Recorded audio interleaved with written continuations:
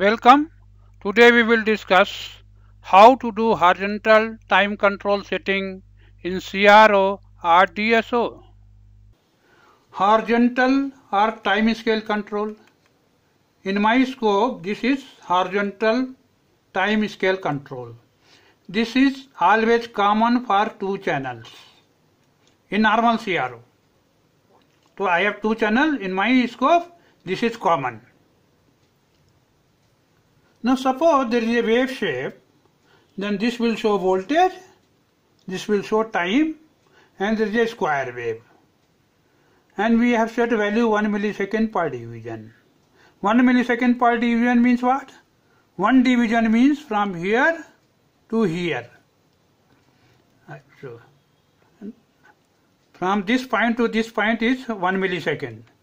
So this width a little less than one division. Division are visible here also.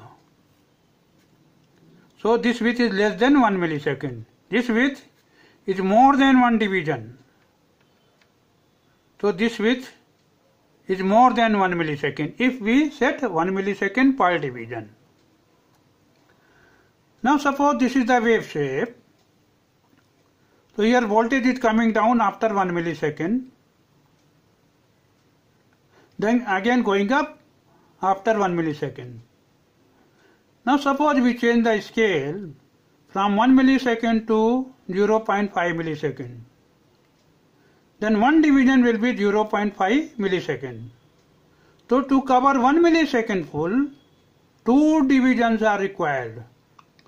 So this voltage is still coming down at 1 millisecond, but it is taking longer width because I have changed the scale. So this wave shape will look like this and everything will get shifted. Here I will show.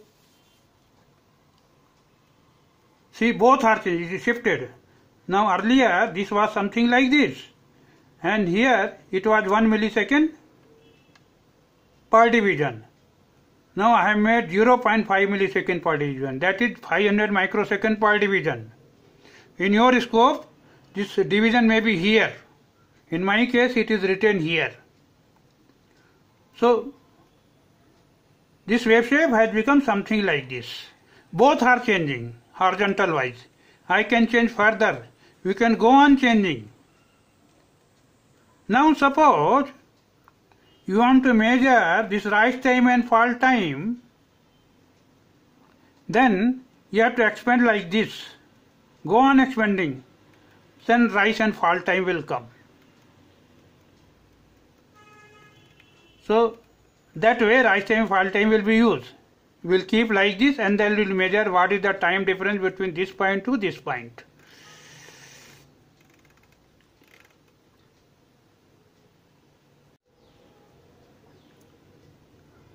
Now, this is the wave shape. Using horizontal position control, we can shift this wave shape anywhere. This is used generally to bring this rise or fall time in this line such that we can measure greatly. This is not triggering control, it is only horizontal position control. Today we will close here itself.